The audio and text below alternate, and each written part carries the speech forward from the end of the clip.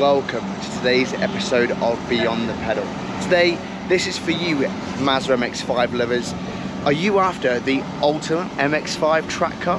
Are you wanting the absolute pinnacle of racecraft for your MX-5? Well, look no further because this is the MEV Exocet MX-5. They've taken the MX-5 and made it just, well, they've taken a track car MX-5 and made it even more hardcore. And today I'm gonna give you a full walk around, an inside and out, a chat to the owner, and some great footage of this absolute track weapon going round Snetterton. I really hope you enjoyed today's episode, and if you're an MX-5 owner, you are going to want to watch this. Enjoy.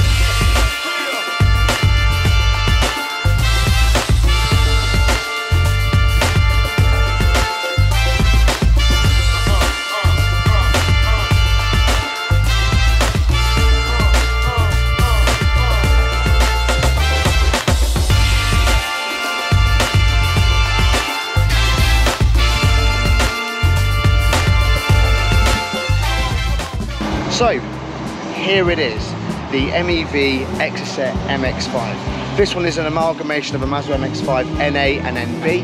Um, and as you can see, I know it looks nothing like it, but this is basically, they've taken pretty much everything from the MX-5 and changed the frame um, and some fiberglass work. Um, but pretty much everything you see here is MX-5 NA and NB. They've just made it even better, better sculpted, um, more rigid, better frame. We're going to get a proper a, a talk about what's all involved, but let's have let's take a little look around uh, of this car. So as you can see, it just looks absolutely fantastic. Oh, we said not to film around that side because uh, uh, one of the wing mirrors broken off. But absolutely look at this incredible piece of kit. Um, as you can see, it's just scaffolding. It's just, it just it just screams racing. We'll have a look inside in a minute, but basically there isn't really much to, to talk about inside. We're outside, we're inside. We're outside, we're inside. Um, very open, very cool looking. Let's take a look around the front. Aggressive race racing design. Um, again, so just taking away the sort of the classic MX-5 sort of sides and just made it into a bit more of a aerodynamically focused car. Great news about this is, well, this is uh, road legal as well. Can be fitted to be road legal, which I think is absolutely incredible. Um, so yeah, so you can even have this as a summer kit car as well if you really want to. Um, but hopefully, this will eventually be a racing series, um, and you'll see why shortly. But um, that's kind of the outside. We're gonna we are gonna get some more information about it. Don't worry. Let's go and take a look and jump in the uh, in the seat. Right, so I'm going to do the classic clambering into, uh, as always, love getting into these silver cars, so uh, let's just see how easy it is, minding my head and watching uh, watching me struggle with this. Oh, he says, he's not that flexible. He's in though. Oh, pop your leg in. There we go. My goodness. Wow. It's very open. It feels incredible. But let's give you a view from the seat. Um, so here we are, that is your view. We are very, very low to the ground. Um, unfortunately, there is nothing in here that resembles an MX-5 um, outside of maybe the dash. But as you can see, it is stripped bare. It's just basically the drivetrain, the suspension, the engine, um, obviously the uh, where everything will be located in your MX-5. But outside of that, they've taken this car and just made it into something extremely, extremely focused. Um, this is incredible. Um, these, these, are they Sparco? Yeah, these Sparco racing seats really, really hug you. Um, so I've no doubt you feel really tight and secure in this vehicle.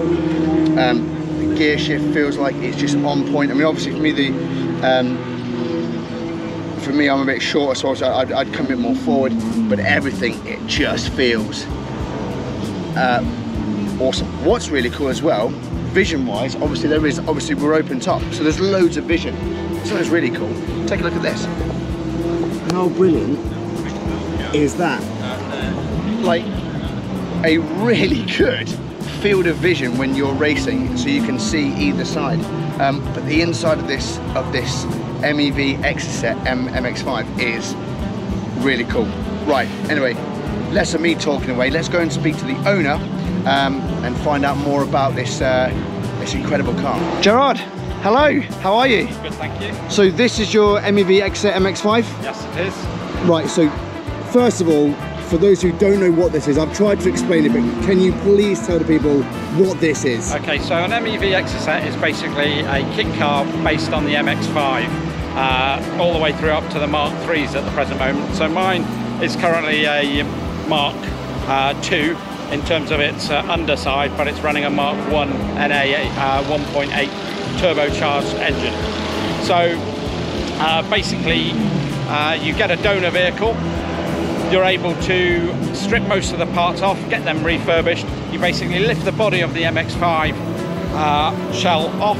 You're left with the subframes, the gearbox, the engine, the, the uh, uh, power frame module going through to the back, and basically you bolt on via the eight bolts this exoskeletal uh, chassis.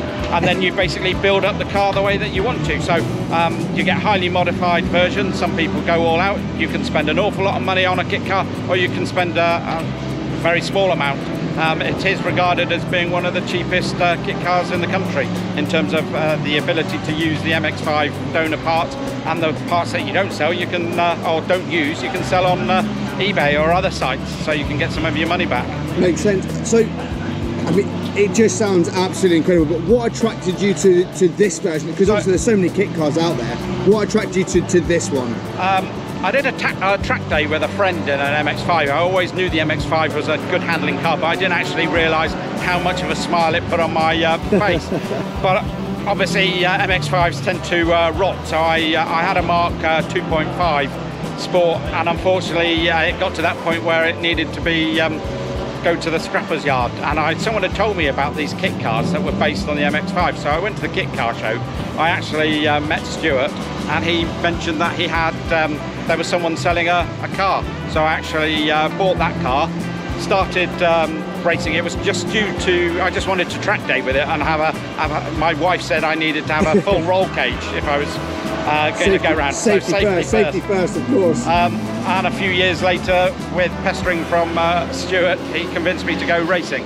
Um, the original car, unfortunately, uh, went into the Armco at uh, Oulton Park, but I was able to acquire another chassis and basically use all of the parts and rebuild this one to more so my spec. Brilliant. So you've mentioned going racing. Uh, obviously, I've seen these go around. You know, the the 750 Motor Club uh, sort of series they've got going on. What's it like being behind the wheel of this? What's it like getting you know elbows out and racing it's, against other cars? It's very much like a, a kart on steroids. you're, you're sitting so close to the ground um, the sensation of speed is absolutely awesome. I mean, I'm not a highly competitive racer. I'm towards the uh, the back end of the uh, field, but it doesn't matter. It's just to get out and have some fun. It's uh, racing is what I always wanted to to have a go at. I just do it for a little bit of fun. So. I don't mind if I come last, provided I have a good race with someone who's in front of me. Um, I've had some. My best finish was a, a top 10 in uh, in Silverstone. Uh, this circuit here tends to be my bogey circuit in qualifying yesterday. Unfortunately, one of the Jubilee valve uh, clips came off the intercooler and my first lap was 10 minutes and 22 seconds as I came into the pit to, to get everything oh, no. done. But uh, I started 22nd yesterday and finished 17th. Oh, so, I had a, so I had a good ding dong. And so, that's and that's what racing's yeah, all about, yeah. isn't it? Just having a really good time. And I have no doubt that this thing puts uh, smiles to oh, miles, as you could so, say. Definitely. So are we right to have a look at the yeah, engine bay? Certainly. Wow, look at that. So um, what, it, what is it running? So um, basically I've got a TDO 5 on this uh, car. The other cars tend to run the TD04s. Uh, a little bit um, lagging, but obviously then once it is spooling up, I get a, an awesome amount of power coming out of it. So with the NA head, uh, I'm getting around about 260 um, brake horsepower. Oh. That equates in terms of the formula to about 320 which is comparable to a Porsche uh, GT3 911 GT3 so um, so just just one more time on on the on the brake horsepower of this car.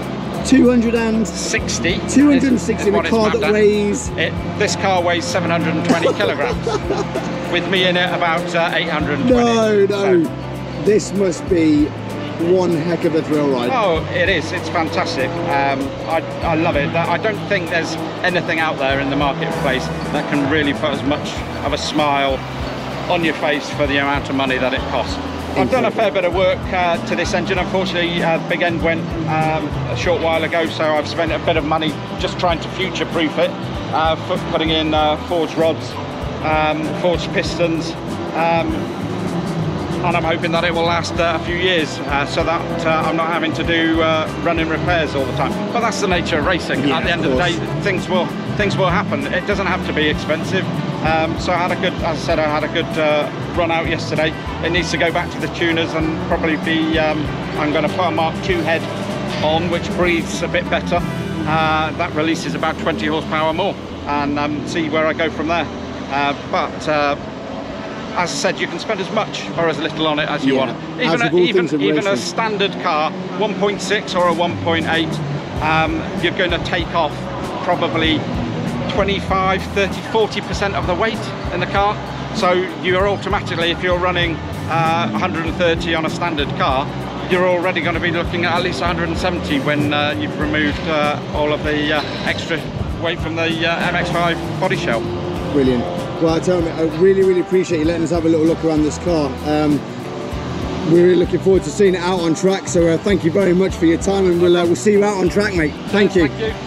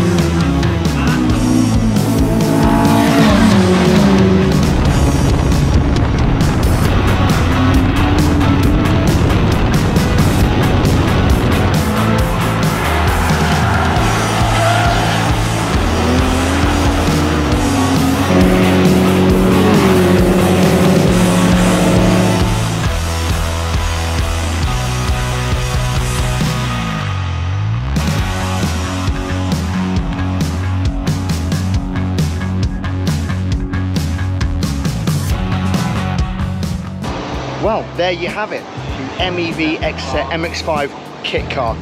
If you are serious um, with your MX-5, you want to take your, your MX-5 to the absolute sort of like pinnacle of what your MX-5 could be. A real track focused, hardcore weapon, if you will. Um, this is this is where to do it. The MEV Exocet kit car is is by far the only way to go. And this is going to be a racing series one day. There is no doubt about that. Um, if you want to find out more about the uh, the Exocet, the kit car itself, head over to mevltd.co.uk for more information. There will be a link in the description below.